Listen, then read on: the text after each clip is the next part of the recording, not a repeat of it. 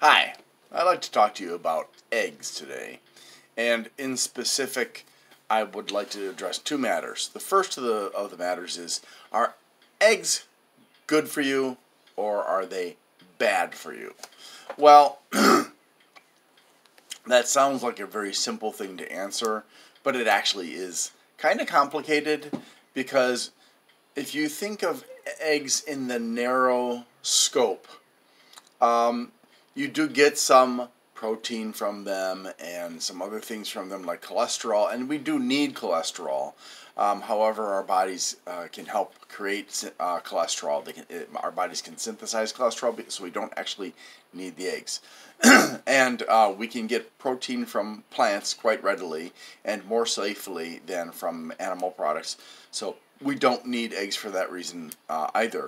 And in addition, uh, so cholesterol. If you look at the white part of the eggs, the white part of the eggs has very little in it that's a, a, a problem for us.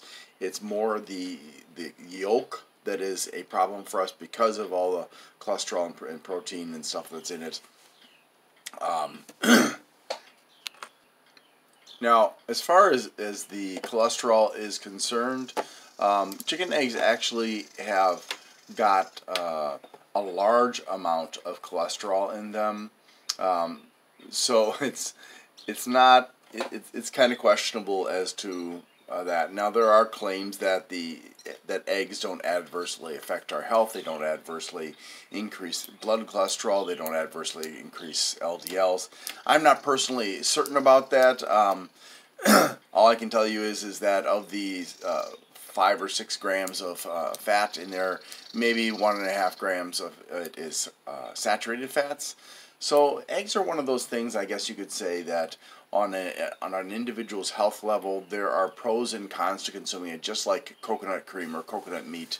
Um, so you would need to take a look at whether it's going to be good or bad for your health. Now, if we look at eggs from a larger perspective in terms of environment, in terms of ethics as well, um, eggs are something that we shouldn't be eating. Now, the reason I say this is because number one, um, the way that many farms now I'm not, I'm not saying all chicken ranchers are the same or that all chicken ranchers do what you see in the videos. There are chicken ranchers that allow their um, uh, chickens to be free range uh, in the true in the true sense of the meat of that phrase. Um, but there are many many farms where chickens are trapped inside of uh, small cages in buildings. Their lives are entirely uh, orchestrated from birth to death. They have no control. They, they don't get to choose what they get to eat. Um, everything is uh, all scientifically determined, and as a consequence, um, for example, chickens, which are naturally omnivorous uh, to an extent, especially in, um, when it comes to eating uh, insects, are given vegetarian feed. Well, that doesn't really uh, make sense because chickens aren't vegetarians or much less vegans. And so, if you see, uh, to me, if I see a, um, a brand saying, "Oh, it's vegetarian feed," I'm like, I start to question has the nutritional profile been altered? And if it has been altered because of that, which is highly likely, what is the impact on the chicken and what is the impact on us? Um, so, if you can imagine yourself, if you were able to produce something that was um, financially viable in terms of something that your body produces that could be harvested on a, a routine basis, how would you feel if somebody locked you in a small cage and then went ahead and uh, kept you there for your entire life, and they were uh, constantly, um, you know, taking away whatever this product was that was coming from your body. How would you feel about that, and, and how would you feel uh, that at the near the end of your life that you know you would be uh, potentially treated very poorly, slaughtered for meat or whatever? Um, sometimes the uh, treatment in some ranches of chickens is really pretty very bad um, in terms of like the environment, in terms of overcrowding, in terms of abuse. Um, so that's you know ethically speaking, we're talking about an industry that has a history now, uh, especially due to industrial farming, um, which was started maybe uh, 70 years ago, I believe it was, or maybe it was 80 years ago, um, that is that take does not take into consideration the chicken itself. On an ecological level, if we look at all the waste that comes out of a chicken farm, and we look at um, the large amount of antibiotics that some of these farms use in order to keep con- control of germs, um, and how those germs eventually become um, immune to the antibiotics.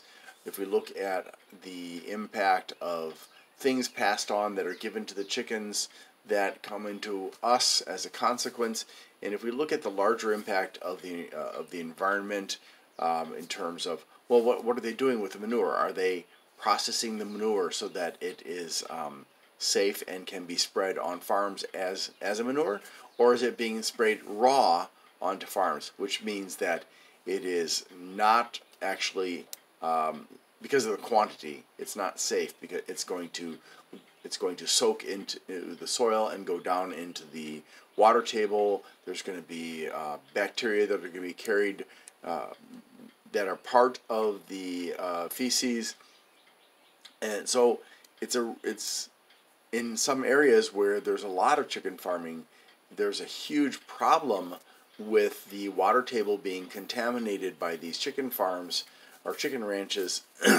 so um, ultimately, and I could I could give you a lot more uh, arguments about this, but ultimately, if we're looking at the impact on the environment, the impact on the chickens, and the impact on our own health, eggs are really not a good thing to be eating, and um, so I don't recommend it. Now, um, obviously, you should talk to a medical professional who is well versed in nutrition, which is the average doctor is not. You, um, the average doctor gets very little to no training on nutrition, so unless they go back to university to get a degree in it, or if they study on their own, a lot of doctors really can't give you good advice on food, which is sad because the majority of the diseases that affect us now are caused by what we eat. so, I'm getting getting to the second thing revolving around chicken. I'd like to uh, explain to you something that I find um, is a bit of a confusing situation. It's also uh, misleading. Um, so when you buy eggs, if you don't see anything on the carton, uh, you can assume then that the chicken are raised in those tiny little cages and they are kept in those cages uh, from the beginning to the end of their egg laying life and their entire life is controlled. They have no control whatsoever. So they're basically biological machines that were not created to be biological machines in the sense that they're being used now as financial units. Um, and when so when you buy um, an you know eggs, you want to buy eggs if you are an ethical person who cares about the suffering of the chickens that are sacri- being sacrificed so that you can indulge in eggs um, you want to look at does it say uh, cage free? Does it say free range? Does it say pasture raised? Now, you would think that those three things actually mean something different. But the truth is, is that cage free and free range often have no different meaning in terms of what you would actually find on the chicken ranch. Cage free is supposed to mean that the animals are not in a cage. However, that doesn't mean that they are out in the wild, they're not out in the pasture, they're not out in the, the farmland. Um, that generally means that they are still trapped, but it's in a large climate controlled building. and so the farmer has to walk around to find the eggs within that. And that because that is a lot more time consuming than a an automated system that starts with the chicken laying the egg and then the egg rolls down and then the egg uh, may either depending on the system they're using the egg may be at in a trough and they they roll down the trough and go out um, or the egg may just sit there and the farmer comes along and grabs the eggs out of the trough but uh, if they're not in a cage that can't happen The, the chickens lay the eggs where they lay the eggs, and the farmer has to walk around the building looking for that. Now, you would think that free range means that these chickens get to go wherever they want, just you know, in inside a building or outside of a building, and oftentimes that also is, um, well, that is not true. Oftentimes, this is has become synonymous not always, it depends on the farm, but it has become synonymous with cage free. The chickens aren't in a cage as with cage free, but they are still trapped in a building that they cannot leave, and the farmer has to walk around the building and collect the eggs. Now, uh, so basically, unless you can determine uh, beyond a shadow of a doubt whether free range is being used as a synonym for cage free or whether it actually means the chickens are free to come and go from the building that they live in. Um, it, you have to assume that they're cage free and thus the it's it's a substandard existence for these chickens because they never see the light of day. They never feel the wind in their feathers or anything like that. They ne- um, and they're probably being fed chicken feed, which is to say uh, it's not necessarily a balanced diet. Um, and uh, if you look at some brands, they will say that it's vegetarian feed, and again, that's problematic. Um, the last one is uh, the pa- pasture, or sorry, pasture uh, raised or something like that, um, where they're allowed to wander around outside, and then they go back to their coop at night that would be the ideal situation. Number one, because you're you may uh, look at it as first of all, I mean, and I said, and assuming that the ranchers aren't abusing the chickens in some form. Uh, first of all, the chickens are free to be inside or outside of their building, uh, which means they're going to get sunlight. Um, also, the chickens are able to enjoy a form of life uh, that approximates what they would have had in uh, nature, and uh, they get, uh, assuming that there's availability of proper land for them to forage on, they are going to get a balanced diet, which means that the quality of the eggs in this situation is going to be much better in terms of the nutrients also in terms of the uh, shell the the shell strength. So these are not going to be uh, eggs that are going to be a problem. Now, sometimes chickens who are allowed to be pasture raised may lay their eggs in the pasture. Um, and then, of course, the farmers have to find them. But typically, the eggs will be laid where the chickens feel safe, which is in the building that they live in when they're not outside.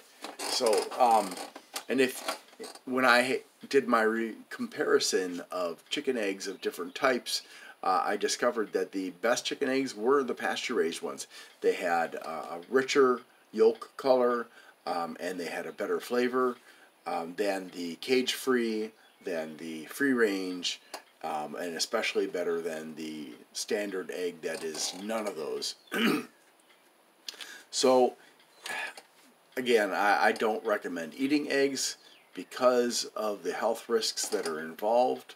Um, however, if you are going to eat eggs, please, uh, for the sake of the chickens and for the sake of your own health, choose the best option because eggs are rich in a variety of different uh, vitamins and minerals. and so um, you can benefit from them. Uh, you don't need them for B12. B12 actually comes from bacteria, which you can get um, in the best form. It would be either a liquid or a crystal form. Um, but it's harder to get out of animal products. Uh, our bodies have a harder time extracting it from animal products than from plant products, which is also where you can get B12 sometimes. Um, and that's generally because of dirt in like the roots. Um, so again, I would recommend not eating eggs, especially if you have health issues related to um, food, uh, meat and, and uh, animal product consumption. Um, but if you are going to, for your own health, uh, for to get the best nutrition possible out of the eggs, and also uh, the fact that these eggs are going to be coming from chickens that are not stressed out um, by living in cages all the time. Because trust me, it's it I've seen some photographs, and these these chickens they peck at each other mercil- mercilessly because they're crammed in so close because they're trying to maximize space. So there's a lot of stress, and stress has a, an impact on their health, which means there's going to be more cortisol, there's going to be more adrenaline, and that can affect the quality of the eggs. So really, we want pasture raised. The only downside of pasture raised is it's going to be the most expensive choice.